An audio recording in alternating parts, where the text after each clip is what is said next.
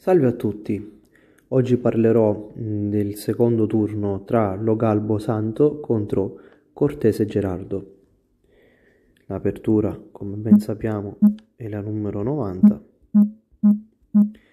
e qui finalmente viene utilizzata la variante che io preferisco, la 611, la più forte, 2621, cambio, poi 36 28-23 per il bianco, che è la principale, 6-11, 29-26, si attacca, per il nero di nuovo cerca di prendere il pezzo, però il bianco riesce a difenderlo del tutto. Ora la mossa migliore per il nero è la faila 12-16, 5-10, Qui sono tutte mosse teoriche fino a questo momento. Adesso la 11-14, ma volendoci anche questa qui, che non è scritta in nessun libro. E 11-14, 31-28 per il bianco, fino a qui ancora siamo in completa teoria. E qui il bianco fa 21-18 che è un'imprecisione, anche una mossa debole. Infatti la principale era la 32-28, poi si continuava così e da qui il bianco trovava una pari. Però dopo questa, o per dimenticanza, ma non credo, o forse il bianco voleva tentare qualcosa di più, fa 21-18. Ora il nero si ritrova a passare il bianco sceglie questa via. 14 11 qua il nero gioca la 4 8 ovviamente per dare il cambio alla 19 per far rimanere bloccata la 22 in modo che la 21 giungendo a dama possa attaccarla. Così. E però diciamo che banalmente qua invece di 4 8 poteva, poteva andare tranquillamente a fare dama senza perdere tempo. Quindi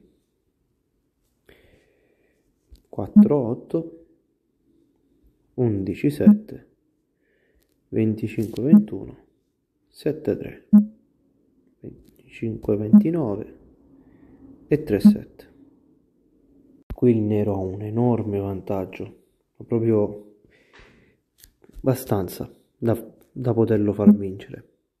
29-26 poi viene fatta la 7-11 qua il nero prova a fare la 26-21 attaccando la 22 il bianco difende. E qui il nero fa la mossa della partita. 12-15 con questo il nero già diciamo si porta in un gran vantaggio qui il bianco non può attaccare per esempio con la 14-11 perché qui si ritroverebbe incastrato. Beh che ci avrebbe questa però non andrebbe molto lontano perché infatti il nero sta per fare la seconda dama. Qua molto banalmente il nero porta il suo pezzo via Qua il bianco non può fare questa perché dopo questa qui si ritroverebbe a dover fare per forza questa qui.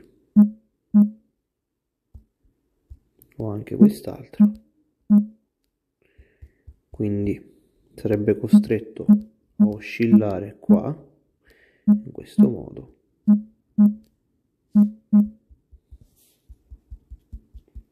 Quindi questa non va bene si attacca da questo punto si ritroverebbe a dover stare qui all'angolo con due pezzi bloccati e con il nero che sta facendo la seconda e probabilmente anche la terza dama. E perderebbe la partita il bianco. Si attacca da questo lato. C'è questo.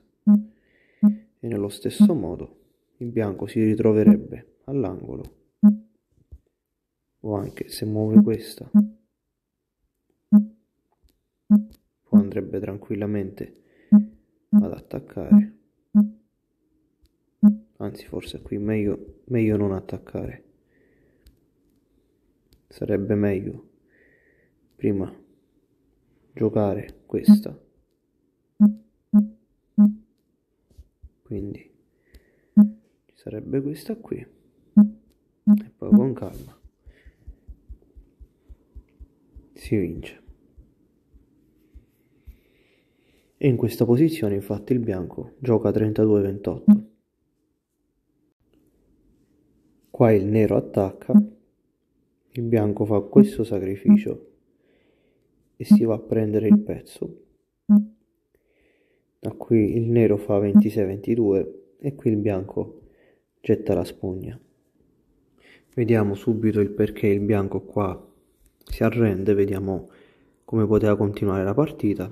Qua il bianco avrebbe messo la 12 in 15 per far passare la 28 e creare la seconda dama per la pari. Poi il nero avrebbe giocato questa e qui il bianco non, non avrebbe potuto fare niente perché mettiamo caso spostasse questa. Qui il nero. Attacca di continuo. Per poi prendere questa posizione dove attacca sia la 15 che la 14 e il bianco sarebbe costretto a perdere un pezzo. Se invece di spostarla la vuole prima scortare, qua c'è prima 31-27, impedendo al bianco di avanzare con la 20, e qui, anche se si muove qua a questo punto, anzi qua è proprio totalmente persa. Se invece si muove qui, perde il pezzo e basta.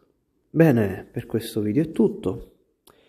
Qui abbiamo imparato che è importante seguire le linee principali, almeno quando sei con un colore con un colore svantaggioso, infatti questa è una 2N.